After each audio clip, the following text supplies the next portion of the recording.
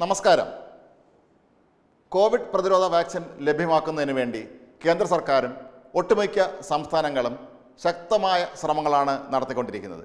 കഴിഞ്ഞ ദിവസം പുതിയൊരു കോവിഡ് വാക്സിൻ തന്നെ വാങ്ങാൻ കേന്ദ്ര സർക്കാർ തീരുമാനിച്ചിട്ടുണ്ട്. ഹൈദരാബാദിലെ ഈ ബയോളജി എന്ന് പറയുന്ന ഒരു സ്ഥാപനം പുറത്തിറക്കുന്ന വളരെ ഫലപ്രദമായ കോവിഡ് വാക്സിൻ അത് മുപ്പത് കോടി ഡോസുകൾ വാങ്ങാനാണ് കേന്ദ്ര സർക്കാർ തീരുമാനിച്ചിട്ടുള്ളത്. ഇങ്ങനെ കേന്ദ്ര സർക്കാർ എല്ലാ സംസ്ഥാനങ്ങളിലും എത്രയും വേഗം കോവിഡ് വാക്സിൻ എത്തിച്ച് ജനങ്ങൾക്ക് പ്രതിരോധം വർദ്ധിപ്പിക്കാനുള്ള ശ്രമം നടത്തുന്നതിനിടെ ഒരു വിശ്വസിക്കാനാവാത്ത സംഭവമാണ് ഒരു സംസ്ഥാനത്ത് നിന്ന് ഉയർന്നു കേൾക്കുന്നത്.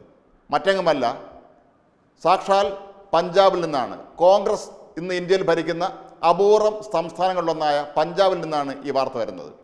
അവിടെ സർക്കാർ തീരുമാനിച്ചത് ഈ കോവിഡ് വാക്സിനുകളെ സ്വകാര്യ മേഖലയ്ക്ക് മറച്ചു വിൽക്കാനാണ് അവർ തീരുമാനിച്ചത്.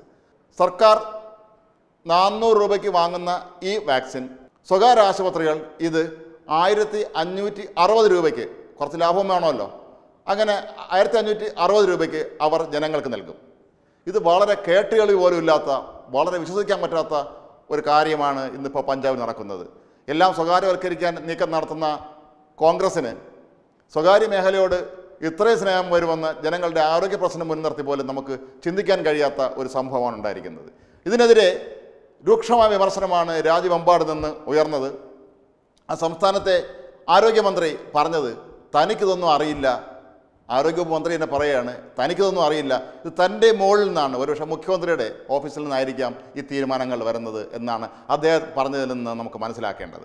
എന്തായാലും എതിർപ്പിനെ തുടർന്ന് ഈ തീരുമാനം സർക്കാർ തൽക്കാലം നിർത്തിവച്ചിരിക്കുകയാണ് കാരണം പഞ്ചാബിൽ കേരളം പോലുള്ള സംസ്ഥാനങ്ങളിലെ കോൺഗ്രസ് നേതാക്കളെ അപേക്ഷിച്ച് അവിടെ മറ്റൊരു പ്രത്യേകതയുണ്ട്. കേരളത്തിലെ നേതാക്കൾ എന്തിനു ഏതിനും ഹൈക്കമാൻഡിനെ ആശ്രയിക്കും ഞങ്ങൾ ഹൈക്കമാൻഡിനോട് പറയും ഹൈക്കമാൻഡ് തീരുമാനിക്കും എന്ന് പറയുമ്പോൾ പഞ്ചാബിലെ മുഖ്യമന്ത്രിയായ ക്യാപ്റ്റൻ അമരീന്ദർ സിംഗ് അദ്ദേഹത്തെ മുൻ രാജാവ് കൂടിയാണ്. അദ്ദേഹം ഈ ഹൈക്കമാൻഡിനെ ഒരു ലോ കമാൻഡായിട്ടാണ് കാണുന്നത്. ഹൈക്കമാൻഡ് എന്ന് പറയുന്നോ അതിനെയൊക്കെ തള്ളിക്കളയുക എന്നുള്ളതാണ് അദ്ദേഹത്തിന്റെ പ്രധാന പരിപാടികളിലൊന്ന് അതുകൊണ്ട് തന്നെ ഇക്കാര്യത്തിലും അദ്ദേഹത്തിന്റെ തീരുമാനം ഉറച്ചതായിരിക്കും എന്നാണ് കോൺഗ്രസിലെ അദ്ദേഹത്തിന്റെ എതിരാളികൾ കരുതിയത്. അവിടെ നവജോത് സിദ്ധുവിനെ പോലെ നിരവധി വിമതർ അമരീന്ദർ സിംഗിനെതിരെ കലാപക്കൊടി ഉയർത്തി രംഗത്തെത്തിയിട്ടുണ്ട്. പ്രതിപക്ഷ കക്ഷികൾക്കൊപ്പം തന്നെ കോൺഗ്രസിൽ നിന്നുള്ള വലിയൊരു ഭാഗം നേതാക്കളും ഈ ക്രൂരതയ്ക്കെതിരെ ഈ സ്വകാര്യ മേഖലയ്ക്ക് സർക്കാർ ലഭിച്ച മരുന്ന് വലിയ വിലയ്ക്ക് മറച്ചു വിൽക്കുന്ന ഈ വൃത്തികേടിനെതിരെ ശക്തമായി പ്രതിഷേധിച്ച് രംഗത്തെത്തിയിരുന്നു.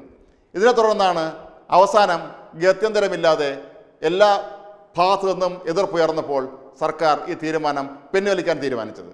മറ്റൊരു വിചിത്രമായ കാര്യം ഈ കോവിഡ് വാക്സിന്റെ പേര് പറഞ്ഞ് കോൺഗ്രസിന്റെ മുൻ അധ്യക്ഷൻ രാഹുൽ ഗാന്ധി കേന്ദ്ര സർക്കാരിനെ നിരന്തരം വിമർശിക്കാറുണ്ട്. അല്ലെങ്കിൽ കോൺഗ്രസ് ഭരിക്കാത്ത സംസ്ഥാനങ്ങളെ വിമർശിക്കാറുണ്ട്. ഇതെല്ലാം സൗജന്യ കൊടുക്കണം എന്നാണ് അദ്ദേഹത്തിന്റെ നിരന്തര ആവശ്യം.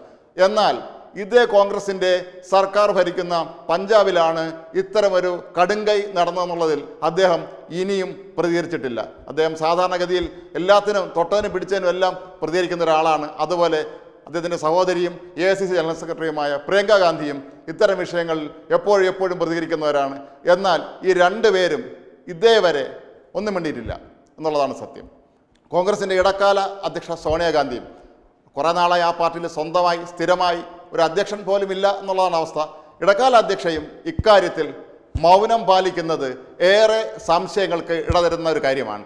ഇത് കേന്ദ്ര നേതൃത്വത്തിന്റെ കൂടി അറിവോടെയാണോ സംസ്ഥാന സർക്കാർ ഇക്കാര്യത്തിൽ തീരുമാനമെടുത്തതെന്ന് വ്യാപകമായി സംശയവും ഉയരുകയാണ്. Web desk Tatwamayi news.